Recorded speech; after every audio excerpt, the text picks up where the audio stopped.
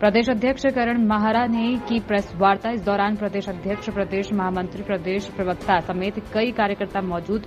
रितु खंडूरी के बयान पर कांग्रेस ने खड़े किए सवाल। सदन की कार्यवाही खत्म होने के बाद रितु खंडूरी ने कहा था कि जितना बिज़नेस होगा, उसी के आधार पर सत्र आहूत किया जाता है। सत्र शुरू होने से पहले ही मैंने कहा था कि रणछोड़ पार्टी की सरकार है। प्रदेश अध्यक्ष सदन के दौरान विपक्ष द्वारा उठाए गए मुद्दे जैसे कि अंकिता भंडारी, किरण नेगी हत्याकांड, बदहाल कानून व्यवस्था, बेरोजगारी, पलायन के मुद्दों पर सरकार के पास कोई जवाब नहीं। प्रदेश अध्यक्ष बीजेपी को बचाने के लिए सरकार द्वारा पूरी शिद्दत के साथ पतन किया जा रहा है। प्रदेश अध्यक्ष सदन से ज़्यादा महत्वपूर्ण मुख्यमंत्री को दिल्ली के एमसीडी जाना ज़रूरी लगा। करण सदन के दौरान जिस बिल पर चर्चा होनी थी, उसको 24 घंटे पहले विधायकों के सामने रखा जाता है, लेकिन ऐसा नहीं। मैंने सत्र शुरू होने के पहले शायद आप ही से बात हुई थी। मैंने पत्रकारों के बीच में कहा था कि रणछोड़ सरकार है और ये सत्र नहीं चलाएगी। पाँच दिन का सत्र आहूत किया और दो दिन में उसको समेट दिया। दो दिन में चौदह विधेयक पास किए हंगामे में। विधायकों को जो प्रस्ताव पास किए उनकी प्रतियाँ पहले नहीं दी गई, जो 24 घंटे पहले दी जानी चाहिए थी स्टडी के लिए। और रितु खंडूरी जी का ये बयान कि बिज़नेस नहीं था और हम जनता के धन का दुरुपयोग नहीं करना चाहते, ये पाप है।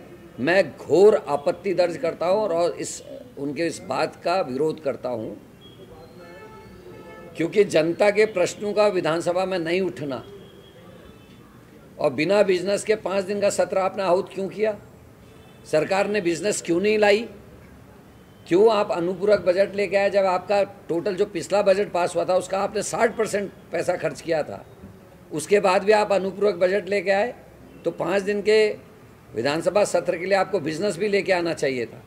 इन्हीं विधेयकों की अगर प्रतियाँ बांट दी गई होती और उनमें चर्चा कराई गई होती तो ये सत्र पाँच दिन छोड़िए, दस दिन भी चल सकता था। चौदह विधेयक। तो ये जनता को भरमाने की कोशिश ना करें, हर चीज़ में राजनीति नहीं करनी चाहिए। आप पार्टी का फेस बचाने के लिए नहीं हैं, आप विधानसभा के अध्यक्ष हैं। रितु खंडूरी जी को अंकिता को न्याय दिलाने के लिए लड़ना चाहिए था। लोग जानना चाहते थे वीआईपी का नाम, और हम तो ये उम्मीद कर रहे थे विपक्ष के लोग कि सरकार कुछ ना कुछ ऐसा फैसला देगी जिससे वीआईपी का नाम जागृत हो, पता चल सके। उस अधिकारी के खिलाफ कार्रवाई करेगी जिसने आपके सामने, हमारे सामने वीडियो प्रस्तुत किया। क्या हमको फॉरेंसिक जाँच के लिए हमने ज़रूरी तथ्य जुटा लिए हैं? और कोर्ट में एफिडेविट दिया है कि हमको कोई तथ्य नहीं मिला आग लगने से, डोजर चलने से। हमको उस डीएम के खिलाफ कार्रवाई होने का आश्वासन मिलना चाहिए था, जिसने अंकिता मर्डर केस में दो बार अपने स्टेटमेंट चेंज किए।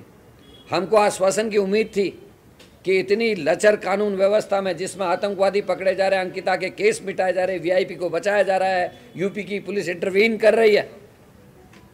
एक तरफ़ प्रेमचंद जी के भाई के यहाँ डकैती पड़ती है, पुलिस कार्रवाई करती है। दूसरी तरफ़ आदेश चौहान के घर में घुस को उनको जान से मारने की धमकी दी जाती है। कार्रवाई का भरोसा मिलेगा। डीजीपी के इस्तीफे की बात हो गया, डीजीपी को हटाए जाने की का आश्वासन मिलेगा, लेकिन ऐसा कुछ नहीं हुआ।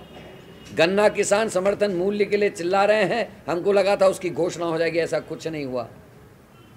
हम सोच रहे थे कि वो जो चार साल की बच्ची मारी, उसके लिए कुछ न्याय होगा। हम सोच रहे थे जो